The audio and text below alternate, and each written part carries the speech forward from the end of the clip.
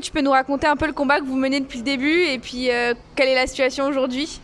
Ben, On mène le combat, le collectif des femmes du Palais, depuis trois ans déjà, depuis 2016. À la suite de deux décès au Palais de la Femme, je suis rentrée en, août 2016 et en octobre, une jeune femme de 13 ans, euh, de 13 ans pardon, 34 ans a été retrouvée morte avec son fils âgé de 2 ans à côté. Et euh, ils ont découvert son corps deux jours après, c'est-à-dire que ce bébé, donc côté CHS, pleurait pendant deux jours avec une mère morte à, ses côtés et personne euh, n'a réagi euh, à part le lundi, quoi. Et même pas un mois plus tard, rebelote, une femme de 31 ans retrouvée euh, suicidée à l'intérieur du palais. Et là, j'ai dit qu'il y avait un grand problème et j'ai donc commencé à parler avec plusieurs femmes qui vivaient là depuis plusieurs années et euh, tout ce qu'elles m'ont raconté, euh, j'ai dit c'est pas possible, il faut qu'on monte ce collectif et qu'on demande une grande réunion avec euh, le siège de l'armée du salut et la direction. Ce qu'on a fait, nous ont tenu beaucoup de promesses, rien n'a jamais été fait bien entendu. Et j'ai été ensuite membre du CVS, Centre de vie sociale, où je représentais la parole des résidentes. J'ai eu beau réclamer beaucoup de choses, rien n'avait été fait.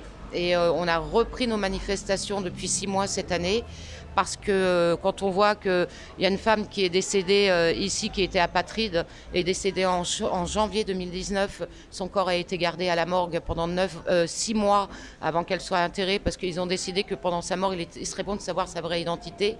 L'été dernier, ma voisine a été retrouvée trois semaines après sa mort en état de décomposition. Et c'est pour démontrer qu'il y a un souci au niveau du social et du suivi auprès des femmes qui sont très clairement euh, fragilisé euh, psychiatriquement et physiquement, et qu'on est vraiment dans un endroit où il y a une omerta totale des maltraitances institutionnelles et maltraitances morales. Et euh, j'ai un chef de service qui est rentré en mai 2017 et envers lequel j'ai eu le droit à beaucoup de maltraitances morales des injures, euh, mais des injures comme euh, vous êtes qu'une pauvre femme, vous vous prenez pour qui, mais vous avez qu'à dégager d'ici, euh, des menaces, quitte à démissionner de mon travail pour m'occuper personnellement de vous, je le ferai. et j'ai eu beau faire remonter tout ça, rien n'a été fait. Et mardi, bah, j'ai pété un câble.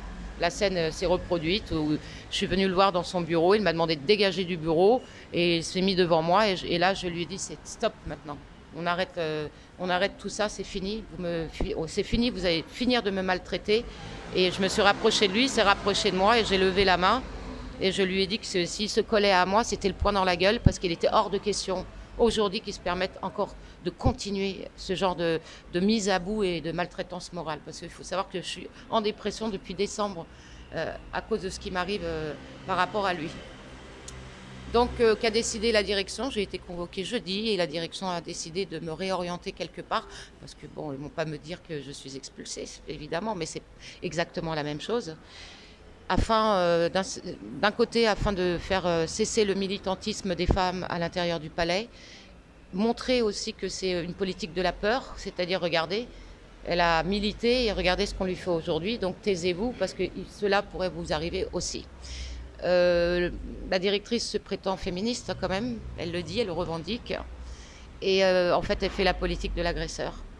J'ai été agressée aussi par l'épicier. Il y a une épicerie solidaire en juillet qui m'a attrapée par le bras et qui m'a tiré violemment en dehors de la bibliothèque. Là aussi, j'ai fait une fiche d'incident et en fait, ils ont conclu que j'étais expulsée de l'épicerie, donc de la bibliothèque. Donc, euh, vous comprenez, c'est pas, c'est pas comme si c'était pas à dérouler beaucoup de choses à l'intérieur du palais pour que je puisse craquer humainement parce que j'ai besoin de me défendre, puisque ici on ne nous défend pas alors qu'ils ont une absolue, euh, ils ont l'obligation de garantir notre protection morale et protection physique. Et c'est pas du tout ce qui se produit à l'intérieur du palais.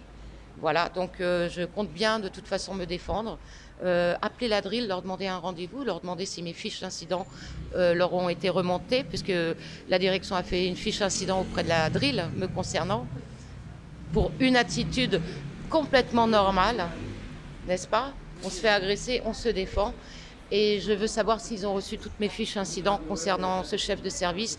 Et si tel n'est pas le cas, je vais me charger d'aller leur apporter en main propre parce qu'il est hors de question qu'après 13 ans d'attente d'un logement, d'accord? C'est-à-dire plus de 10 ans dans la rue, 10 ans dans la rue à être logé par des gens que je ne connaissais pas, sans hébergement, avec une fille qui avait 14 ans à l'époque, et rentrée 3 ans seulement dans une résidence sociale, on me demande de prendre la porte encore une fois. Voilà, et ça, si c'est pas de la, maltraitance institutionnelle, ben, je ne sais pas comment ça s'appelle. Et euh, c'est vraiment violent à vivre. C'est très violent de, de voir qu'on résiste depuis des années, tant d'années, pour tenir le coup et enfin accéder à un logement. Et de voir que, comme dirait Chiappa, logement, hébergement pour les femmes. Non, je suis désolée, on ne fait pas des hébergements pour les femmes.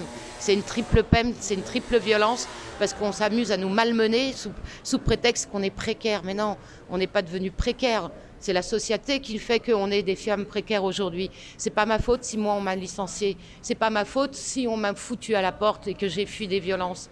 C'est l'institution, c'est l'État, c'est le patriarcat qui fait qu'aujourd'hui on est dans de tels états de précarité. Ce sont des pensions non payées et on m'en doit plus de 30 000.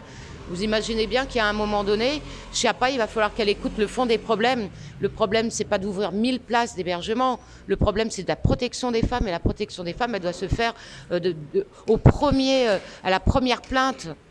C'est pas après 10 plaintes qu'on vient de se demander et quand on retrouve une femme morte qu'on se pose la question de savoir comment on va gérer ça. Au commissariat, les plaintes, non, moi je rigole, ma fille a été frappée par mon propre frère.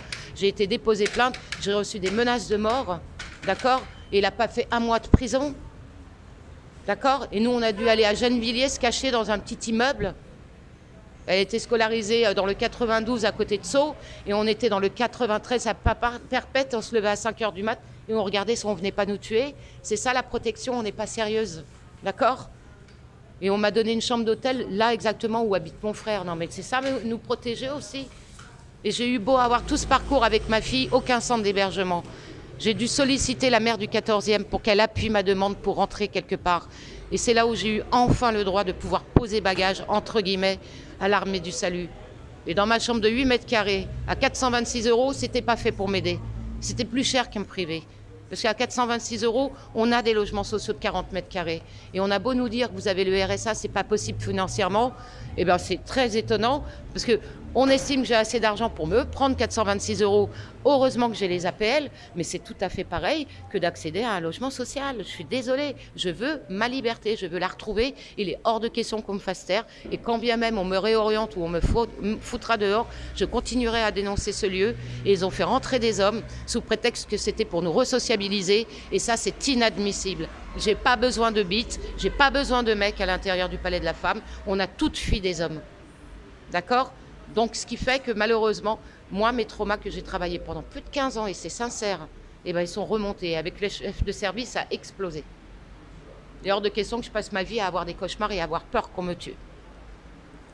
Voilà. Et euh, j'espère vraiment profondément euh, que toutes les autorités, que Chiappa, que la maire Hidalgo, que la Drill, que les préfets, etc., nous offrent des logements à toutes celles qui sont dans le collectif, à toutes celles qui vivent ici depuis 8 ans, 10 ans, avec des santé qui se dégradent, et des femmes qui deviennent complètement barges, schizophrènes, parano, et qui deviennent complètement des cas psychiatriques, aidez-nous, parce que ici c'est un mouroir, c'est un couloir de la mort, et il faut le dénoncer haut et fort, et c'est eux les responsables, et non nous, parce que nous sommes femmes et précaires. La précarité, c'est une violence aussi, et la violence de la précarité, c'est de voir qu'il y a des gens qui te dominent ou qui imaginent qu'ils peuvent nous dominer parce qu'ils s'imaginent qu'ils nous rendent service. Non, c'est nos 426 euros qui leur rendent service. C'est nous qui, qui, donnons même nos derniers deniers à ces gens pour s'enrichir sur nos dos. Voilà, et ça, il faut le dénoncer. Et on n'est pas logé gratuitement ici. On n'est pas logé gratuitement, ni on est nourri gratuitement. C'est faux tout ça, c'est de la foutaise. Nous, on est là pour avoir des appartements on a le droit à notre dignité, on a le droit à notre liberté de femme, et on a le droit de retrouver notre vie, nos amis, nos copains, nos copines, nos petites amies.